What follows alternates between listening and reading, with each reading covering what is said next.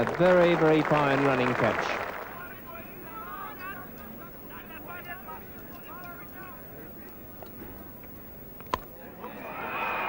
In the air, Tony Greig, the man.